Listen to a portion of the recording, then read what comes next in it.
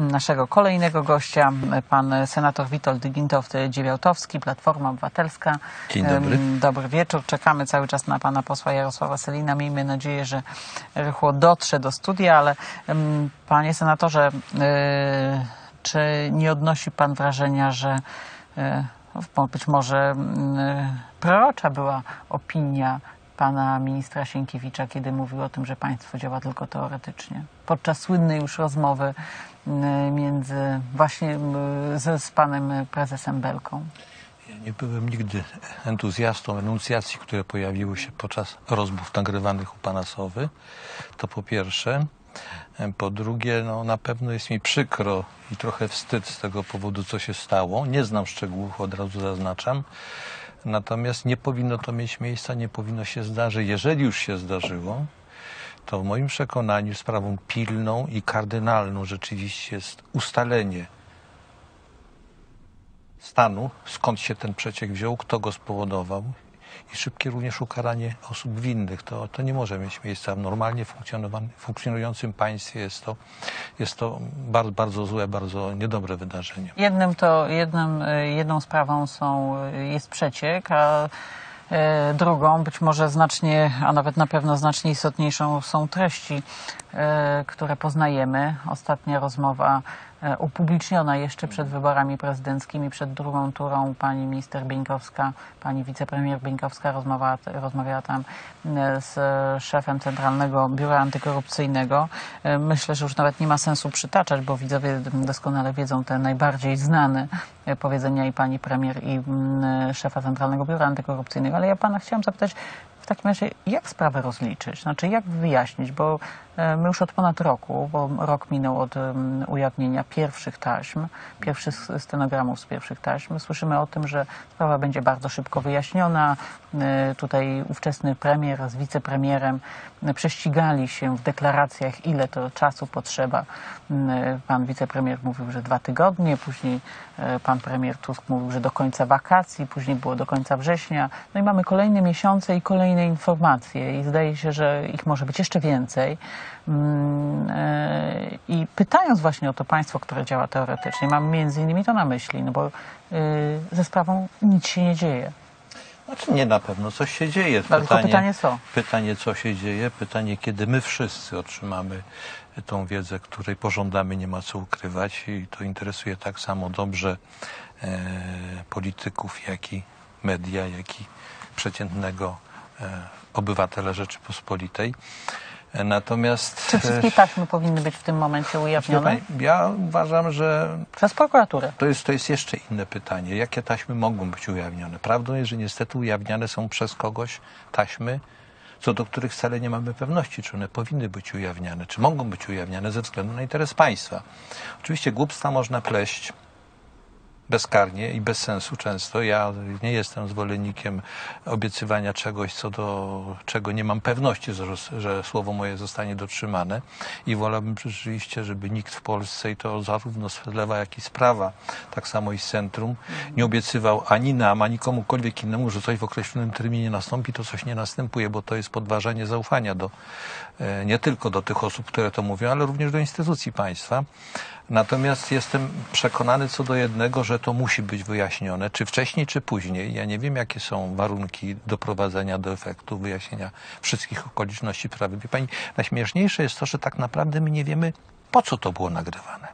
Po co te nagrania kto, ktoś kompletował? Czemu to miało służyć? Komu to miało służyć? My tego wciąż nie wiemy. Kolejna rzecz, to co nas szokuje od czasu do czasu, e, spośród materiałów, którymi zajmują się e, prokuratorzy, służby specjalne i ewentualnie osoby bezpośrednio zainteresowane, bo one są dopuszczone do zapoznawania się z materiałami śledztwa, tego wymaga procedura. Poszczególne materiały zupełnie nie wiadomo jak, po co i dlaczego są ujawniane.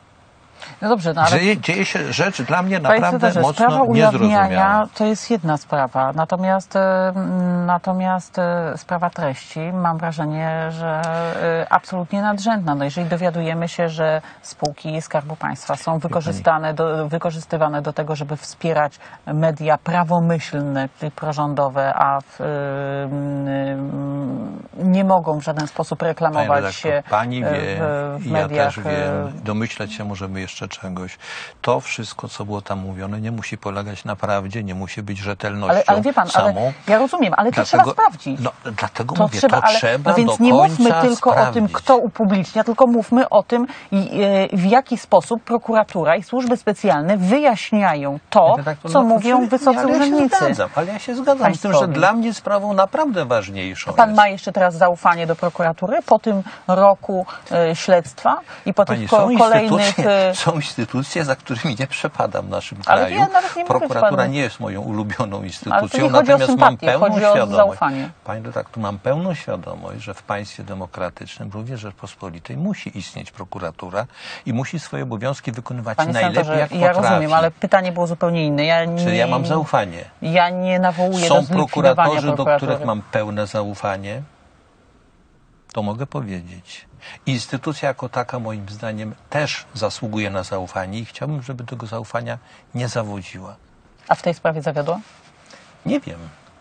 Naprawdę nie mamy informacji takich. Ja już pani wcześniej powiedziałem, że akurat Senat nie nadzoruje instytucji państwa, nie nadzoruje e, rządu, ale w moim przekonaniu również inne instytucje nie są w stanie tego ocenić w sposób tak jednoznacznie wyraźny.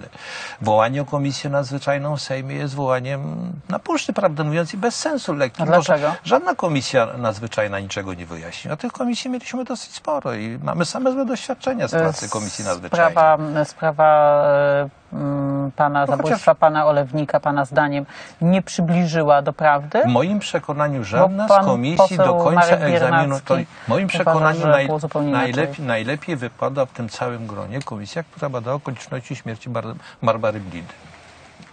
Do wszystkich pozostałych komisji miałbym bardzo poważne zastrzeżenia. Komisje nadzwyczajne generalnie w ich działaniach dominuje niestety interes polityczny. Witam pana posła No Jarosława wcześniej- Selina, wieczór, Prawo i Sprawiedliwość. No dobrze, no ale prokuratura nie jest w stanie wyjaśnić, komisja śledcza Nie, nie, nie, jest... pani redaktor, wszystko musi się odbywać w czasie i w okolicznościach. To, że ktoś kiedyś powiedział, że za dwa tygodnie, popełnił błąd, bo to nie było możliwe w ciągu dwóch Ale tygodni. przepraszam, to pan e, premier mówił o tym, że przedstawi no, mówić wówczas, e, e, Wysokiej Izbie, tak? Zapozna parlamentarzystów ze stanem Ja wiedzy na domyślam temat się, że była to afery. wypowiedź spontaniczna z przeświadczenia i informacji służb, które wokół premiera Mhm. Jednym słowem, e, śledztwo w sprawie afery taśmowej może trwać jeszcze kilka lat. My mamy Nie, no wszyscy... nie, miejmy nadzieję, No że dlaczego? nie. No, że rok, nie. rok już trwa. Prokuratura mówi, że sprawa jest tak rozwojowa, że, że nie jest w stanie przewidzieć, kiedy sprawa będzie zakończona, więc mamy po prostu czekać. Pani, pani redaktor,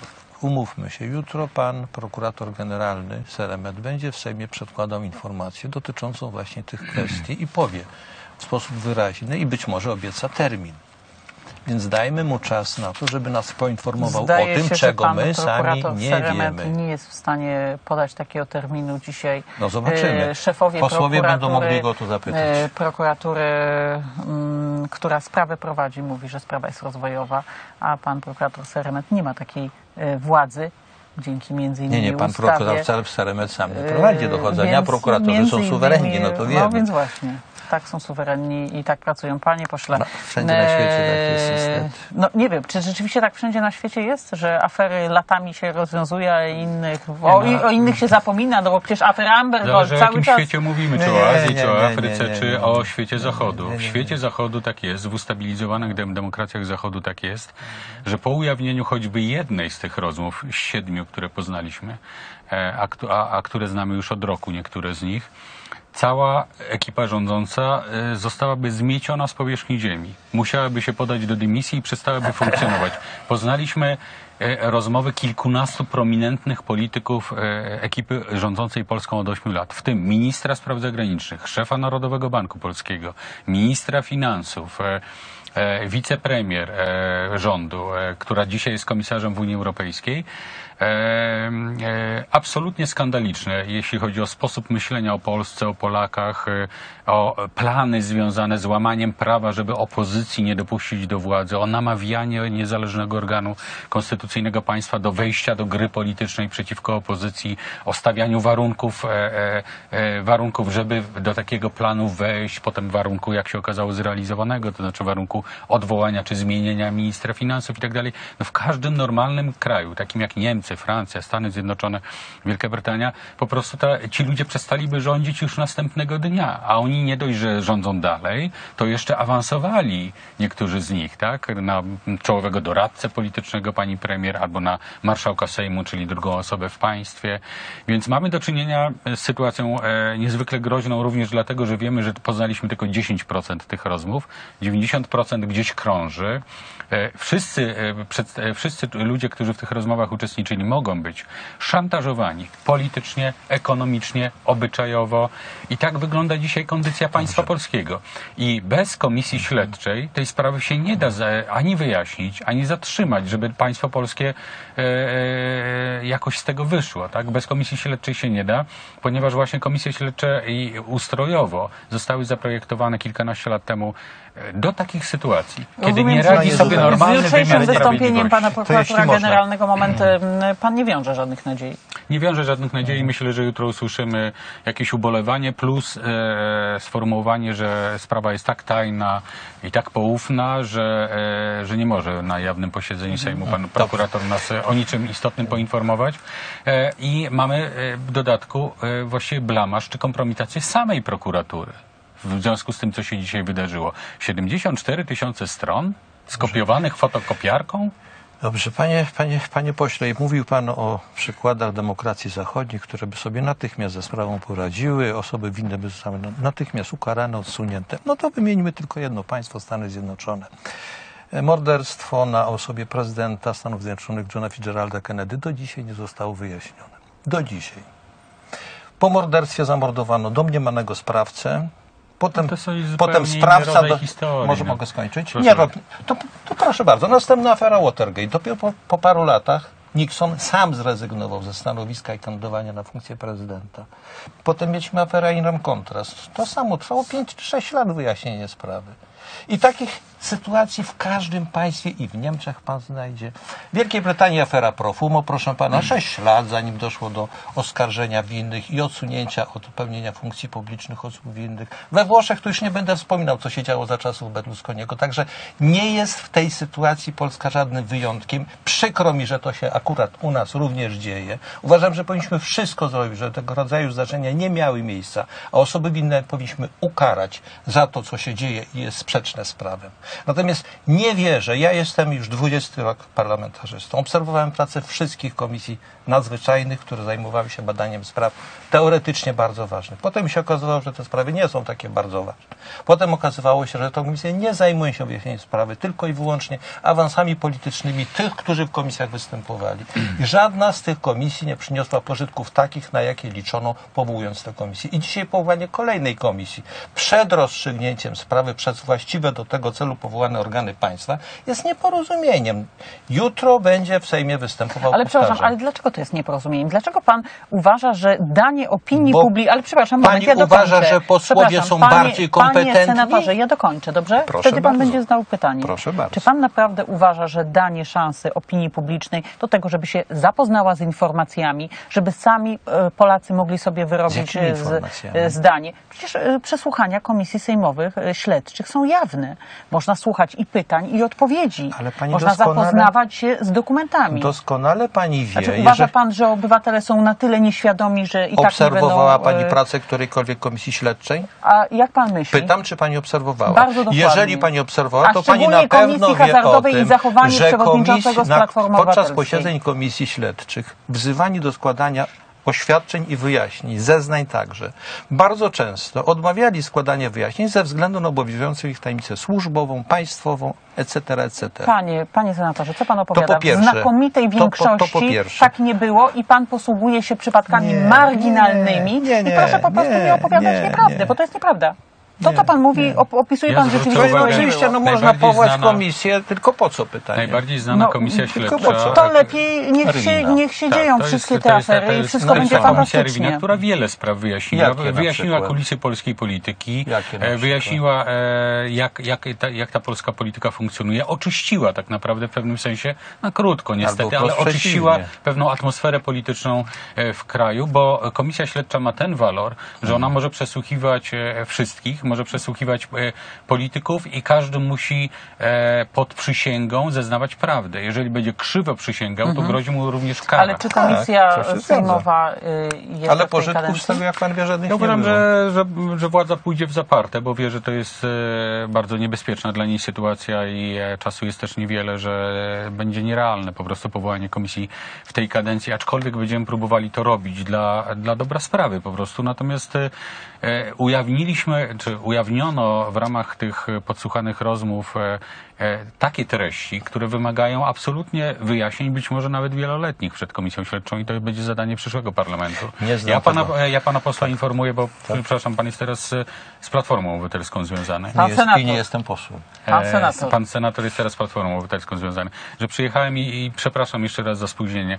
Z innej telewizji, gdzie się spotkałem z byłym europosłem Platformy Obywatelskiej, który już dojrzał do tego, do czego, bo wy idziecie trochę w zaparte, inni politycy Platformy, e, do stwierdzenia, że Donald Tusk popełnił rok temu totalny błąd, nie odsuwając od, nie, e, nie wyrzucając z polityki w ogóle tych wszystkich, którzy byli podsłuchani, chociaż on twierdził, że oni są też pokrzywdzeni, bo ich podsłuchano, ich prywatne rozmowy, No, ale, ale, ale jakość tych rozmów i plany, które oni tam snuli w ramach tych rozmów jest takiej wagi, że oni, byli, e, że oni wszyscy powinni byli zniknąć z polskiej polityki już rok temu.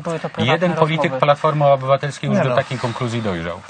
Prywatne spotkania są, panie pośle, przepraszam, panie senatorze, Tak, tak. za prywatne pieniądze, a nie To za też. pieniądze podatników, więc nie mówmy o tym, że to były prywatne rozmowy.